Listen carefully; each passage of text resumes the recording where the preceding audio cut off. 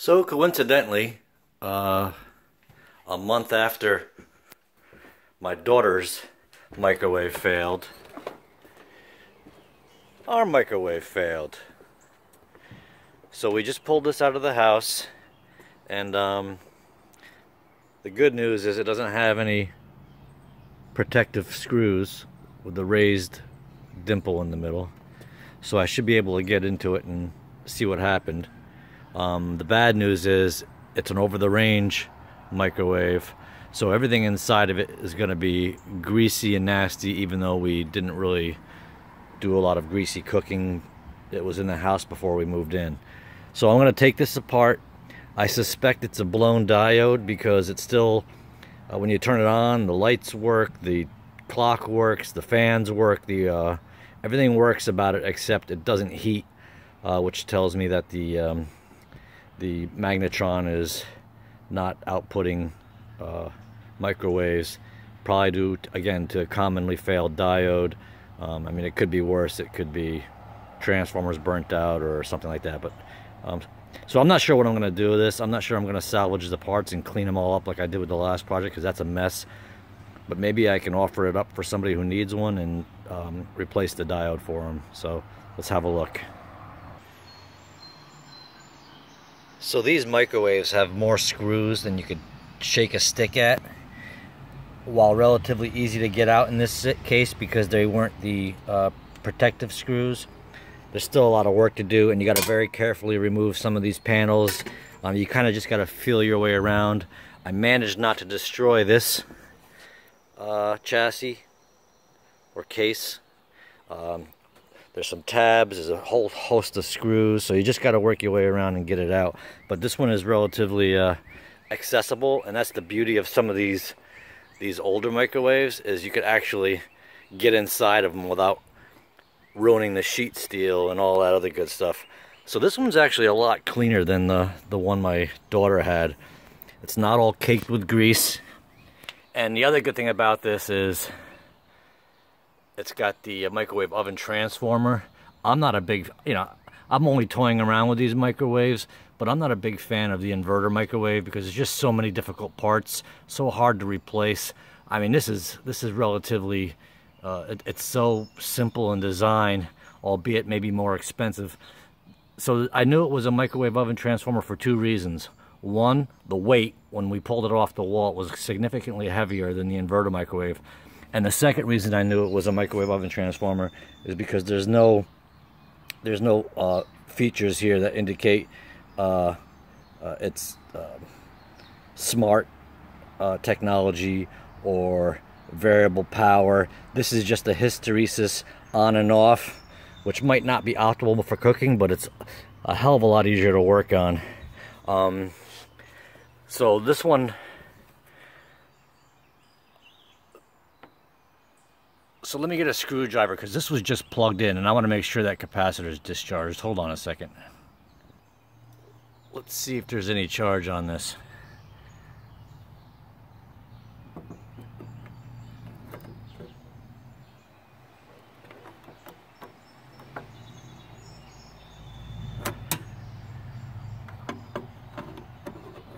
Hard, hard to get at. at. Uh, let me see if I get a better tool. So I cob job this heavily insulated uh, house wiring and I'm taking further precautions by using a tool with an insulated handle. Let's see if I can kill myself.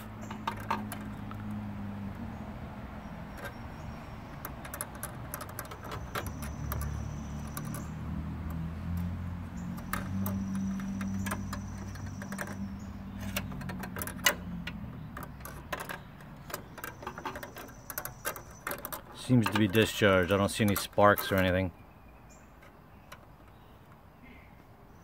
So I've shorted out those two terminals on that capacitor. See? Nothing. If I was smart, I'd get my multimeter and ensure.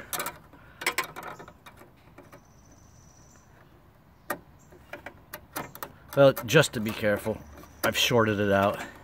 I don't know how much voltage really remains on these things despite the warning with all the electricity attached to it. It probably dissipates relatively quickly, but just as a precaution. So there's the diode. I suspect that's what failed. But let me uh, see if I can get it out of there and have a look around. There's also these protective uh, temperature elements. You know, there could be something going on with... Let me just have a look around. Transformer looks pristine and clean. This could probably be fixed up and given away. This looks pretty good on the inside.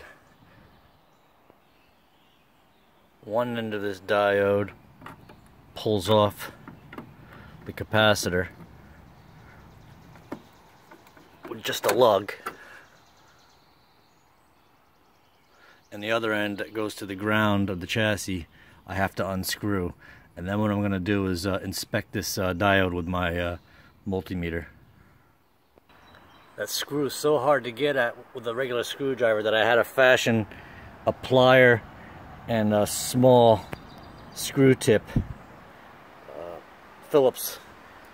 And I can get in there just now and, and work it out. So it's gonna take me a second but it's uh you know. If first you don't succeed try try again well there's a will there's a way. When you're a loser you're a douche. So I think we have a shorted diode because no matter what direction I put this in, my continuity meter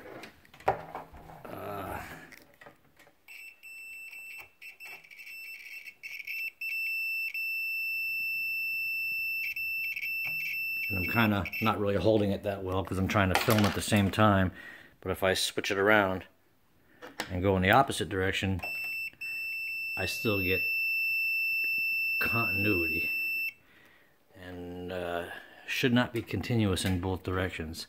Let me, uh, there's this diode tester. I'm not sure what the hell that does, but it's telling me I got zero volts in that direction.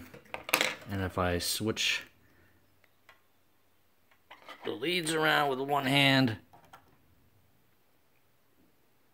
I got zero volts in that direction. So I got a shorted diode, I think, which could be the reason why this failed. Because uh, you won't be getting the voltage multiplier effect um, if it's shorted. So, um, I don't know if I have another one of these. I think this is a bigger microwave than the one I tore apart previously. So it might not have the, uh, it might not be, this one might be uh, rated for more current. Um, but yeah, it looks like I can replace this diode and get the microwave working again. Um, except, I don't know, do I want to salvage it and get the parts out of it? Or do I want to give it to somebody after I fix it and spend all this money on a diode and something else goes wrong because it's 15, 20 years old? So I don't know.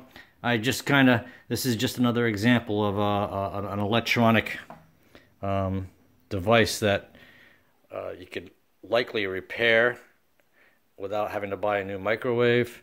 Um, let me think about this and what I want to do. And uh, I don't know. I'm tempted just to tear it apart and salvage the, uh, the transformer and everything. Hold on. What do you think? Should I just salvage the parts or uh, offer it up on your free site and have somebody just want to take it and repair it with a new diode? Or is electronics not allowed on your site? Um, I mean, they are allowed. You want to just see if anybody is interested in replacing a diode in a, a microwave that works before I destroy it? I would just destroy it. Alright. There you go. I mean, not destroy it, you're just going to take it for parts, right? We're going to collect a bunch of parts out of this that I'll never use and uh, uh, thanks bad diode.